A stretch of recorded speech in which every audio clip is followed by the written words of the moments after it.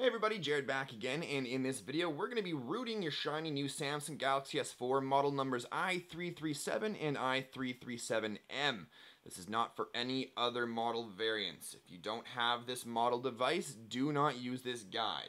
With that said, first thing we want to do is make sure that you have the latest USB drivers and other Samsung drivers installed uh, on your PC so that this goes nice and smoothly. So, there's a couple of different methods out there of getting the drivers on your PC, but quite honestly, the simplest method is by using Samsung keys. So, what we're going to do is navigate over to samsung.com uh, or .ca, wherever you are.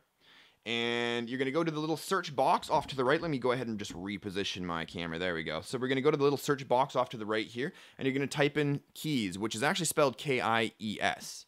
And you're to hit enter and we come up with this. You're to go ahead and just click on keys and you've now got the option to download for either Windows or Mac. Uh, this particular tutorial is for those with Windows, no Linux, no Mac, nothing, although there are methods out there, this video is not one of them. So you're going to download keys for Windows. Once you have that downloaded, let me just go ahead and reposition my camera one more time, um, and I'll go ahead and actually pan up a little bit. Once you have that downloaded, uh, you're going to want to locate it and uh, obviously install it, um, and we're going to go ahead and open that up. And as it opens up, you'll notice we've got a little USB uh, cable connection. Now, when this is open, generally speaking, you should be able to plug in your uh, Galaxy S4 now and um, these the program and your phone will talk to each other and should if all goes well uh, install the needed drivers right away. Um, however for me for instance it wasn't that easy. Um, what i had to do actually was unplug the device after i tried to attempt to have the drivers automatically install. And then see this little button here that says troubleshoot connection error this will actually go through and fix and download any necessary drivers. Once this has done its thing, which could take about five minutes, which it did about for, for me, um, then you'll be good to go. And then you can go ahead and uh, kind of start off from here because now we've got all the necessary drivers installed. Now, with that said, what you're going to do is click on the first link in the description below, and it's going to take you to this page here. This is a thread for a toolkit called Moto Chopper, which was developed by XDA um, recognized developer, as you can see here, uh, DJR Bliss. So big props goes out to him, and a thank you goes out to him for um, developing this particular toolkit and passing it on to the Samsung uh, development community. Uh, anyways, uh, so what you're going to do is you'll notice that we've got this little uh, clickable link here, which is motochopper.zip. You're going to go ahead and click on that one there, and that'll download a file for you, a .zip file for you, which is right here, okay? So once you have that downloaded and located, just go ahead and right click on it. And depending on where you have it, doesn't really matter. You can put it in its own folder if you want to. Uh, click on extract and just go ahead and extract it. I always just extract it on my desktop. Then you'll be given this, oops, then you'll be given this particular folder here. And what we're gonna do is go ahead and open that up and you'll notice we've got something called run. So we're gonna go ahead and just, uh, oh, first of all, first of all, just before we double click on that, what you're want to do is um, navigate. Oh, let me reach around the camera here.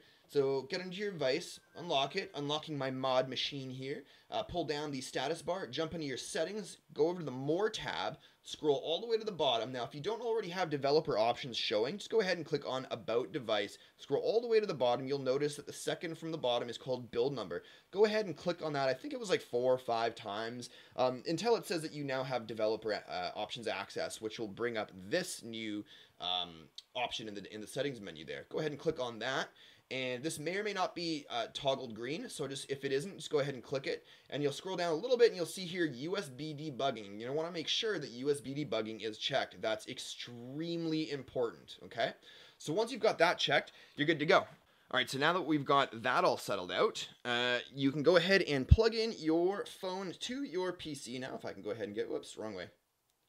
And plug it in like so. You probably won't uh, have as much trouble as me there. And so once that's plugged in and your device, or sorry, your computer recognizes the device, go ahead and click on the run executable there. Go ahead and double click on that and that'll bring up a new command window. Bam, right there.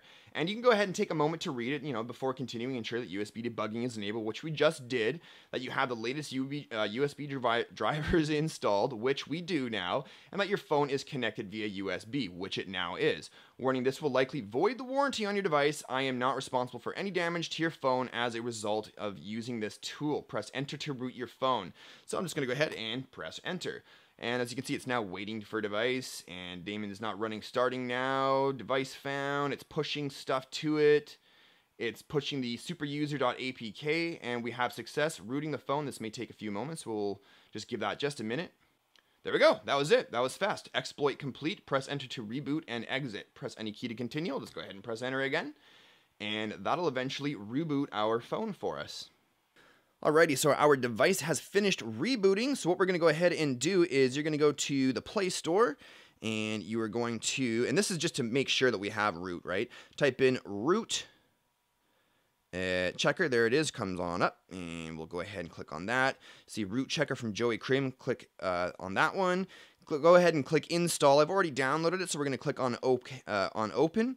You'll see that it's got a little button there, verify root access. We're going to go ahead and click on that. It's going to it's going to ask you if you have um, or to, to grant it super user permission, and go ahead and do that. And then uh, once you're done, you can click verify root access, and it'll tell you congratulations, this device has root access, and that's it. You're done. That was easy. You can go ahead and wipe that sweat off your forehead. That was probably one of the easiest routes ever.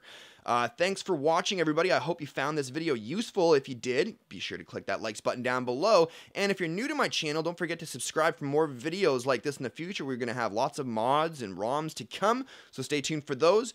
Um, but that's it. Thanks again for watching. Be sure to follow me also on Google Plus and Twitter to stay up to date on all things the smoking Android. That's it. Thanks for watching. We'll see you in the next one. Cheers, guys.